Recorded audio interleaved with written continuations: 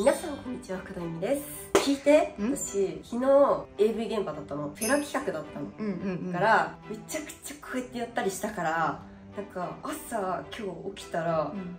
なんかめちゃくちゃ筋肉痛で、なんかめっちゃ全身筋肉痛すぎて手こき筋肉痛になっちゃって 手こきで筋肉痛になるんだって思った。今回の企画は、うん。えっと AV あるあるでいろいろ AV あるある考えてきたので一個ずつ出していくよ。ありがとうございます。それじゃあ行ってみよう。AV 絡み終わった後の最後のカメラ笑顔でフィン。あの大体眼射かけられるじゃないですか。こうやって。こうやって「ああ」みたいな。はいはいはい。でそれでカメラがこう入ってきて「みんなかけてくれてありがとう」でフィン見るよく見るやつだ。確かに。そう。確かに。笑顔でフィンへえそう。これが多分 EVR なんかなんか笑顔になってるね。時と場合によるんだけど私は結構笑顔が多いかも。もう一つが手こきものは、えー腕が命。こういうこういうなんか手こきっていろんな手こきの出し方があって、はいはい。こういう手こきの出し方とあとこう乳首をこうなんだろうな。こうキスしながらのはいはい。こういう手こきもあるわけです。はいはいはいはいはいはい。あったりなんかいろんなのがあって寝ててなんかこういう手こき。でもうねここがやばいの。手こきの時コツがあってこうだとうんうんうん空洞開くじゃないですか、はいはいはい。めっちゃ疲れるんですよ。だから私は結構脇締めてはいはいはい。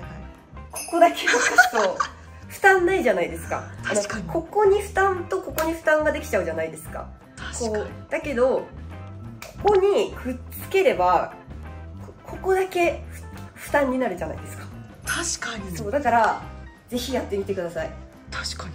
あの手こきの原理です次は挿入するときにまあやっぱり女優さんってたくさんね挿入したりとかおせっせするからうんさすがにやっぱローションが必要なんですね。こういう注射器みたいなやつでローションをこう注入したりとか。で私もそれやるんですけど、うんうんまあ、お姫様タイプとか、うんなんかあの仕込むとか言ったりするんですけどうんそれを仕込んだ後にローションで周りをちょっとこう塗っとくわけですよ。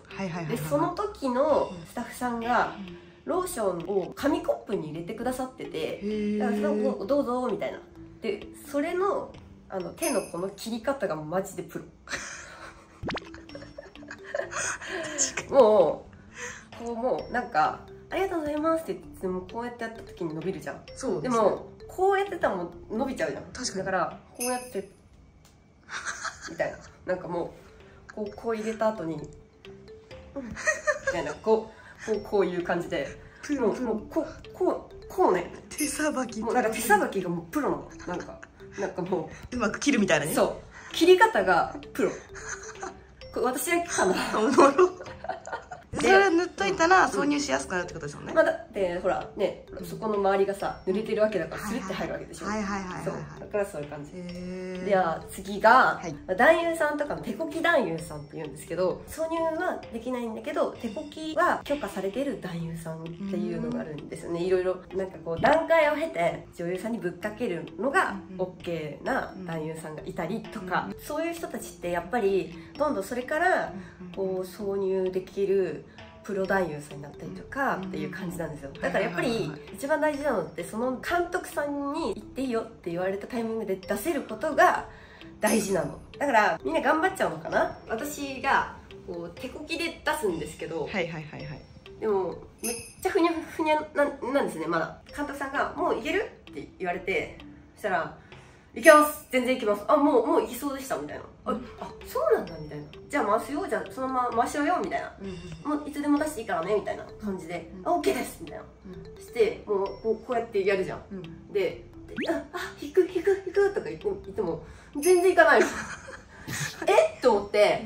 でもうこうやってやっててで私もこうもうもうめっちゃずっとやってる。だから行くまでカメラがもう止まらないわけよ、はいはいはいはいはい。ずっと回し続けてんの、うんうんうん。でずっと「えええみたいな「えあい。つかな?」みたいな。しんどいやつ。でやっぱさ表情もさ疲れた顔しちゃダメなの。だからなんかこうやってやっててなんか笑顔がこうなってくの。なんかこうこうなんかこうな笑顔なんだけど、っ心の中早く出せ。て顔なのそこからちゃんと硬くなっていくし、うん。大きくなってくるしえそれからスタートじゃないの？みたいな。まああるあるですね。無理しちゃう。